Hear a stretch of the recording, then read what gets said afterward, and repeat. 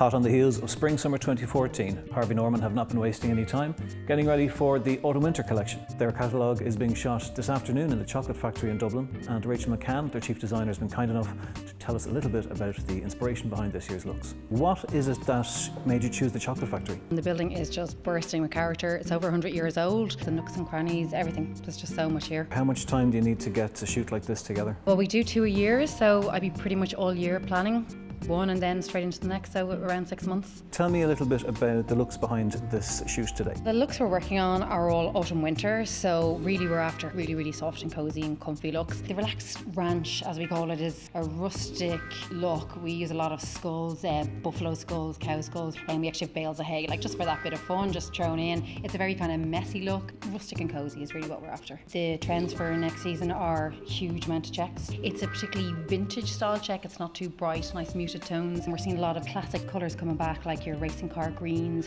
your mustard, your burgundies, like really, really rich classic colours. And our Grand Designs bed linen, it's exclusive to us. It's from Sweden. It's the best-selling bed linen in Sweden. Um, 100% cottons, checks, and linens, and it's, it's, beautiful. Tell me about inspiration and what inspired the Autumn Winter 14 collection. Uh, Matthew McConaughey.